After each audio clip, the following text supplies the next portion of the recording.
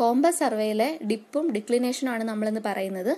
ഡിപ്പും declination. Dip എന്ന് പറഞ്ഞു കഴിഞ്ഞാൽ നമ്മൾ മാഗ്നറ്റിക് നീഡിൽ ഇങ്ങനെ വെച്ച് കഴിഞ്ഞാൽ അത് കറക്റ്റ് ഹൊറിസോണ്ടലായിട്ട് നിൽക്കാതെ താനും പൊങ്ങി നിൽക്കുക അപ്പോൾ ഒരു ചെറിയ താഴ്ചയോ ഉയർച്ചയോ വരുമ്പോൾ ആ എമൗണ്ട് ഓഫ് ആ ഇതാണ് ഇങ്ങനെ ഹൊറിസോണ്ടലായിട്ട് നിൽക്കാതെ താന്നു പോയി കഴിഞ്ഞാൽ അതിനെ പറയുന്നതാണ് ഡിപ്പ്. അത് zero to ninety degree vary ചെയ്യും. ഇക്വേറ്ററിൽ സീറോ ആയിരിക്കും. നയന്റി ഡിഗ്രി ആയിരിക്കും നോർത്ത് പോൾ ആകുമ്പോൾ വരുന്നത്. മാഗ്നറ്റിക് ഡിക്ലിനേഷൻ എന്ന് പറഞ്ഞു കഴിഞ്ഞാൽ അത് ട്രൂ മെറിഡിയനും മാഗ്നറ്റിക് മെറിഡിയനും തമ്മിലുള്ള ഡിഫ്ലക്ഷൻ ആണ്.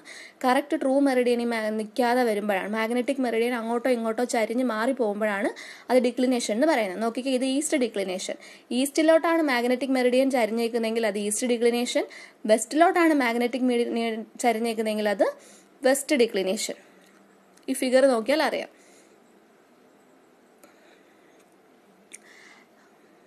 ഓക്കെ ഇതാണ് ആംഗിൾ ഓഫ് ഡിക്ലിനേഷൻ കാണിച്ചിട്ടുള്ളത്. ജോഗ്രഫിക് നോർത്ത് നോർത്ത് പോളും മാഗ്നറ്റിക് നോർത്ത് പോളും. അതിന്റെ തമ്മിലുള്ള ഡിഫ്ലക്ഷൻ ആണ് എന്ത് കാണിക്കുന്നത്? ഇതിനിടയിൽ ഉണ്ടാകുന്ന ആംഗിളിനെ പറയുന്ന പേരാണ് ഡിക്ലിനേഷൻ ഇതിനകത്ത് റൂൾ എന്ന് പറഞ്ഞാൽ magnetic bearing plus or minus declination ആണ് നമ്മൾ ചെയ്യേണ്ടത്. ട്രൂ ബിയറിംഗ് കണ്ടുപിടിക്കാൻ. അതുപോലെ മാഗ്നറ്റിക് ബിയറിംഗ് കണ്ടുപിടിക്കാൻ true bearing plus or minus declination plus നമ്മൾ എപ്പോഴാണ് ഉപയോഗിക്കേണ്ടുന്നത്? ഡിക്ലിനേഷൻ വെസ്റ്റിലോട്ടാണെങ്കിൽ വെസ്റ്റ് എന്ന് പറഞ്ഞാൽ ലെഫ്റ്റിലോട്ട് ലെഫ്റ്റിലോട്ട് ചരിഞ്ഞ് നിൽക്കുകയാണെങ്കിൽ നമ്മൾ പ്ലസ് ചെയ്യണം. റൈറ്റിലോട്ടാണ് ചരിഞ്ഞ് നിൽക്കുന്നതെങ്കിൽ അതിനെ നമ്മൾ മൈനസ് ചെയ്യണം. അതാണ് റൂൾ. എങ്ങോട്ടാണോ മാറി നിൽക്കുന്നത് അതിനനുസരിച്ച്. ഈ വേരിയേഷൻ ഉണ്ടാവുന്നത് രണ്ട് തരത്തിലാണ്. റെഗുലർ വേരിയേഷനും ഇറഗുലർ വേരിയേഷനും. റെഗുലർ വേരിയേഷനെ മൂന്നായിട്ട് തിരിച്ചിട്ടുണ്ട്. സെക്യുലർ ആനുവൽ അല്ലെങ്കിൽ ഡെയിലി. സെക്യുലർ വേരിയേഷൻ എന്ന് പറഞ്ഞു കഴിഞ്ഞാൽ നമ്മൾ മാഗ്നറ്റിക് നീഡിൽ ഇങ്ങനെ സ്വിങ് ചെയ്ത് ഒരു പെൻഡുലം പോലെ സ്വിങ് ചെയ്ത് നിൽക്കുകയാണ്. എന്നിട്ട് അത് പെട്ടെന്ന് സീറോയിൽ വന്നിട്ട് വീണ്ടും ഓപ്പോസിറ്റ് ഡയറക്ഷനിലേക്ക് മാറും. അതിനെയാണ് സെക്യുലർ എന്ന് പറയുന്നത്. ആനുവൽ വേരിയേഷൻ എന്ന് പറഞ്ഞാൽ ഒരു വർഷത്തിലായിരിക്കും ഈ ആനുവൽ വേരിയേഷൻ ഉണ്ടാവുന്നത്.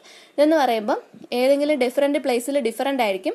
സീറോ തൊട്ട് പന്ത്രണ്ട് മിനിറ്റ് വരെ വ്യത്യാസം വരാം.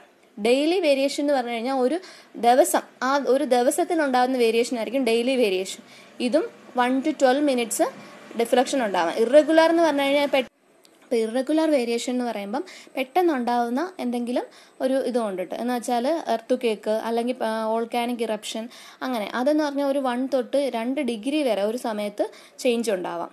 മറ്റ് ഡെയിലി വേരിയേഷൻ ആണെങ്കിൽ ഒന്ന് തൊട്ട് പന്ത്രണ്ട് മിനിറ്റ് വരെയുള്ള മാറ്റേ വരത്തുള്ളൂ.